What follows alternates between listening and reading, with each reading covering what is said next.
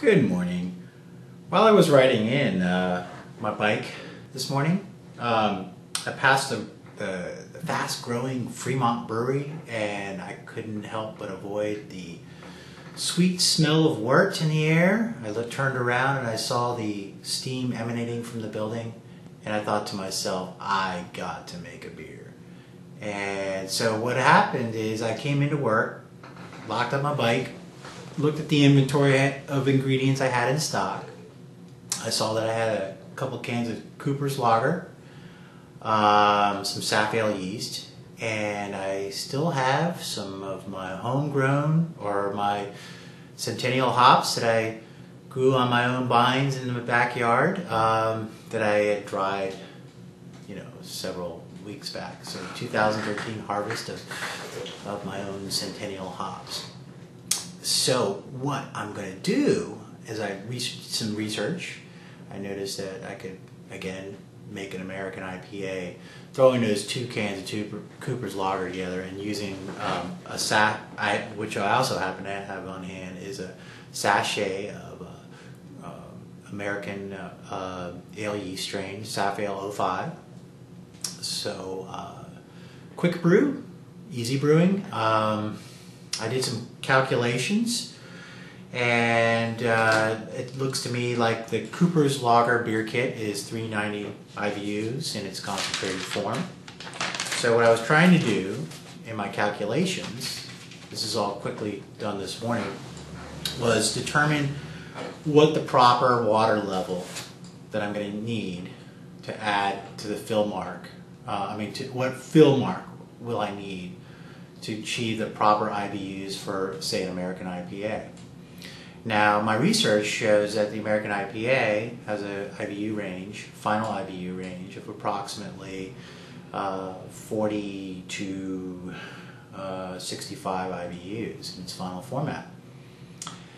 And so I tend to be more moderate in my bitterness level desires, so I'm going to shoot for about a 50 IBU level this beer. So the formula I came up with to determine the actual volume of water I need to add was uh, the Cooper's Lager is 390 IBUs. So uh, I'm using two cans of Cooper's beer kits, at, uh, each maintaining 1.74 kilograms of, uh, of weight. So that's uh, one point uh, is 3.4 kilograms total, and um, the final IBU level I'm looking for is 50. Uh, the uh, beer itself will come up with approximately 62.5 before fermentation. Uh, if I use, uh, uh, if I'm trying to achieve about 50, because there will be about a 20% reduction after fermentation. So putting the algebraic equation together, I came up with um, approximately 20 liters of water to use for this batch of beers. Easy peasy. And to get approximately the alcohol level that I'm looking for, I think I need to get maybe an additional 500 grams of dextrose to throw in. And uh, what I'll do is I have a huge bag of Centennial hops, and that will be dry hopped just for the flavoring, uh, aroma, uh, type of uh, piney flavor that the Centennials uh, bring out, which is the typical characteristic of the American IPA. Hopefully it'll ferment out really clean, it's uh, easy brewing, and I'm back to work. So what I'm going to do right now is I'm going to go down to my utility room here in the, my office building. I'm going to begin the process of uh, cleaning and sanitizing my existing equipment, which has been stored away for a while. I'm going to time it, start the clock, see when I begin, see when I end to get the, the, the wort stored away. And I will then ferment for about approximately one week. Okay. And uh, at, as, after seven days, I'll dry hop with my Centennial hops. And I'm to dry hop without a net. I'm just going to throw the hops on top. And then I'm just going to rack to a keg after a week of dry hopping. Uh, it has worked for me in the past, works great. Um, I just actually killed a keg of beer like that. So, and it was a, it was actually more of an imperial IPA style beer. So I, I'm I'm pretty confident this will work great. Uh, so let's let's uh, let's get my camera downstairs and uh, we'll start shooting the video. Uh, just sanitizing. It's kind of boring, but I'm gonna throw it out, put it out to the top, show you my procedures, beginning to end, how long it's gonna take, and then I gotta get back to work. So cheers, everybody. All right, so I've rolled my utility cart into the utility room, and inc- included on my cart is uh, approximately five gallons of uh, water, which has been stored at, oh, I don't know, about 60 degree uh, Fahrenheit temperature. Uh, the Cooper's uh, uh, fermenting vessel, and see here I have the two Cooper's lager kits that I referred to earlier. Um, a box of dextrose. I'll, pro- I'll use probably about half of that. Um, and briefly, let me take my camera out here and I can show you. Uh, hi there.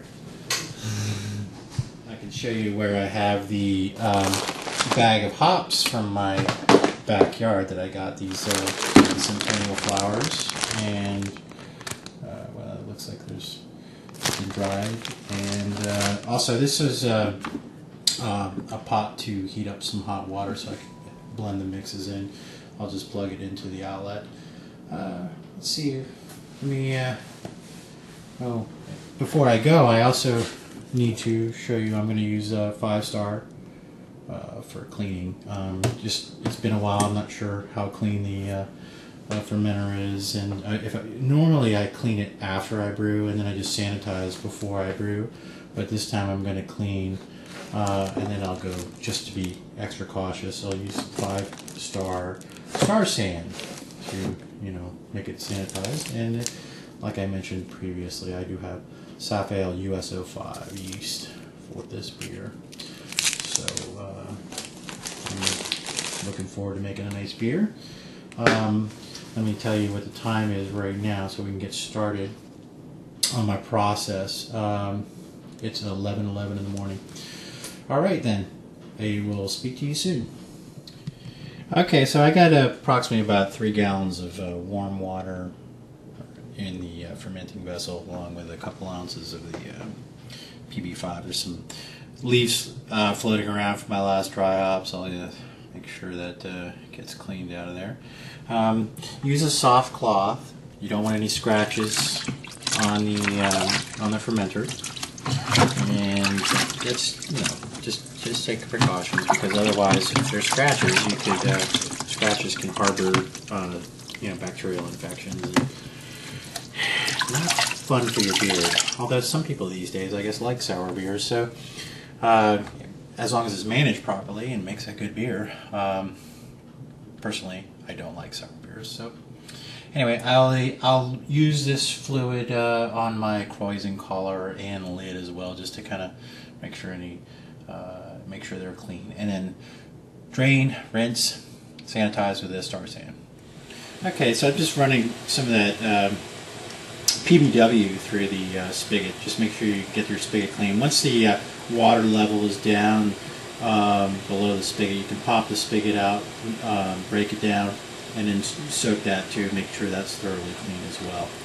So I used my Krausen collar to hold anything, you know, the Krausen collar and the and the lid turned upside down, hold anything that's been cleaned or or uh, ready to go. Um, so here here's the uh, spigot broken up. Just let you know, drop it in, soak it, make sure it's all finished, and it'll take no time at all. This stuff's pretty powerful. One thing I uh, one thing I want to add is that uh, they say Star San is uh, a no rinse sanitizer. Well, you know that's that is true, uh, and in fact the um, uh,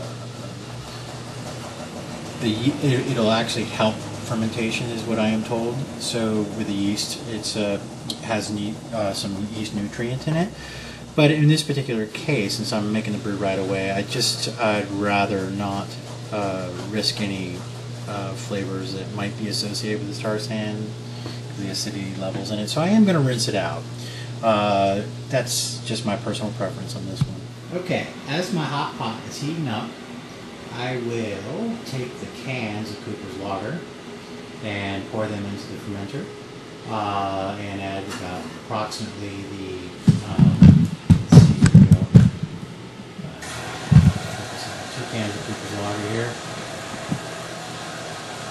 and add about half a box of dextrose. So that should do it. Then I'll just uh, pour the hot water into the cans so I can get out the rest of the malt extract from the cans. Be careful when you do that. Use a uh, oven mitt or uh, some sort of a cloth when you do that. Now make sure it's stirred up properly. And then at that point, uh, everything is dissolved. I will add the water that I have here to the um, approximately the uh, 21 liter mark right here on the fermenter. And that should do the trick. I'll get my uh, 50 IBU uh, hopefully around there. Uh, then once uh, fermentation is complete, after about seven to 10 days or so, I'll uh, add the dry hops. I'll add the hop, the Centennial hops, and I'll have my American IPA. Dog, awesome! It'll be ready for me to drink by uh, Turkey Day, Thanksgiving. Cheers. All right, adding the malt extract to the can. I mean to the fermenter. Um, got the lid. Uh, lots of goo. Mm.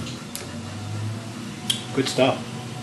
Now this can has an expiration date of 2014. It's been a can that's been a while around for a while, but the date, expiration date in this case is predominantly for the yeast. Um, as the malt extract ages, it'll just darken a little bit, uh, which in this case, and it caramelizes. Um, in this case, it, it is probably beneficial. Boy, that is bitter malt extract. Uh, the, the concentration of uh, hot bitterness in there.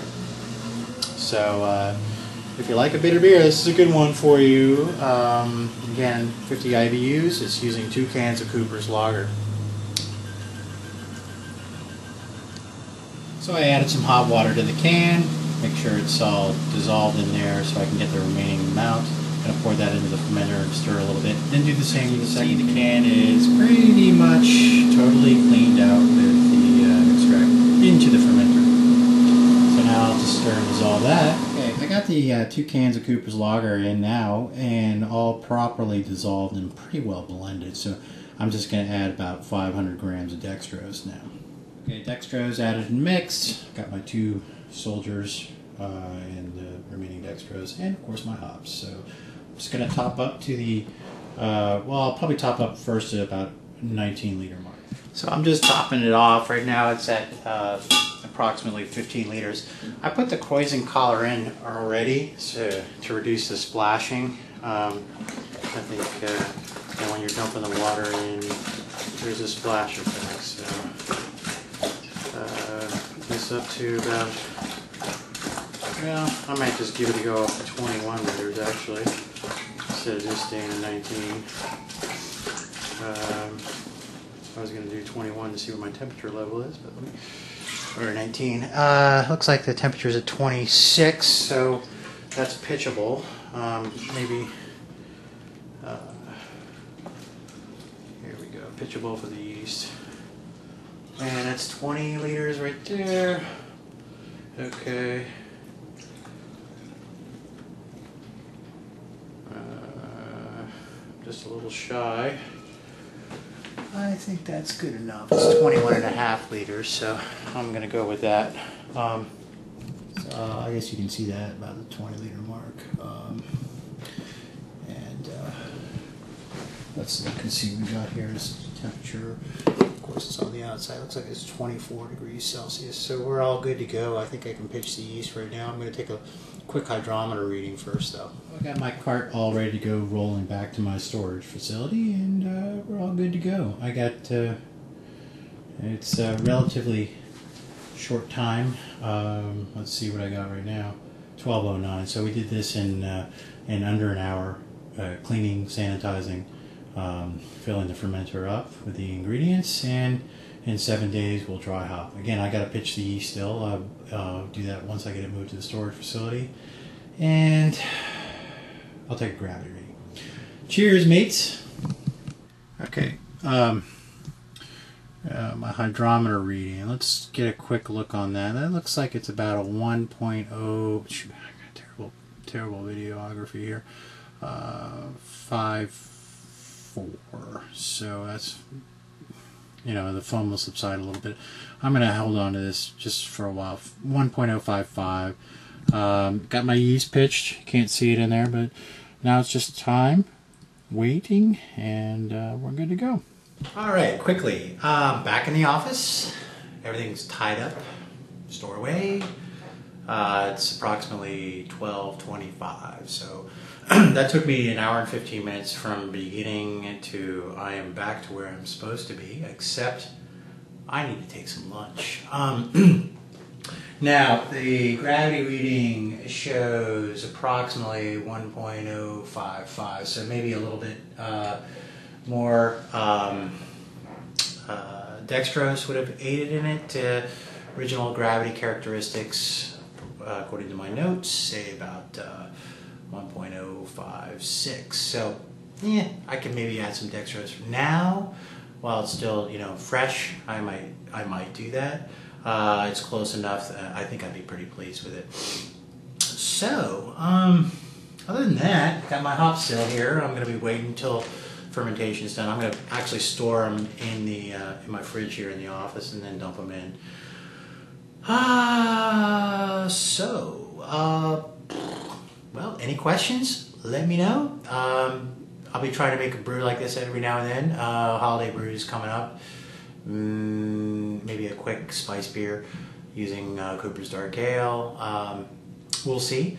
Uh, cheers and beers. And um, again, if you have any questions, feel free to ask uh, on calculating IBUs, um, any on calculating color, etc. Um, I have some charts where you can uh, uh, use to do that to determine your final beers as you customize them and make them if you're, you wanted to venture off the path. Um, so uh, again, any questions, ask them below um, or send me an email. Cheers. Quick shot of my hops, uh, my, my well, the dead hops. Now this is where I got those hops um, that I threw in. The, I plan on throwing into the brew. So a fall day beautiful Seattle, Washington.